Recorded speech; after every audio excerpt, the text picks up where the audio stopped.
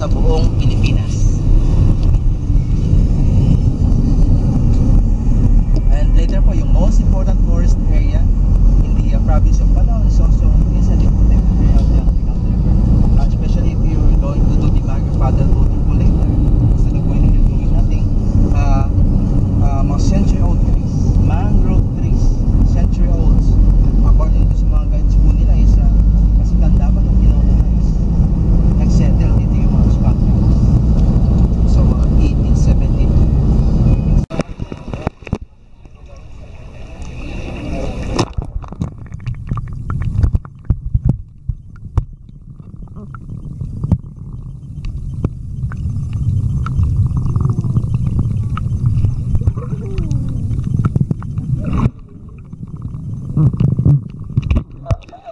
Nakakain nila yung camera ko.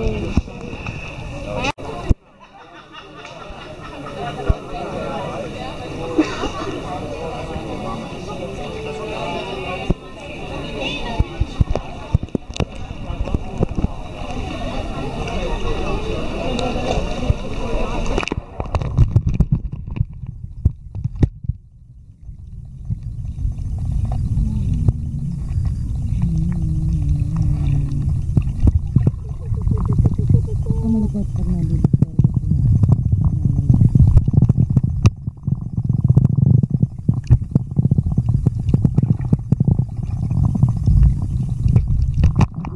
my God, nagulat ako.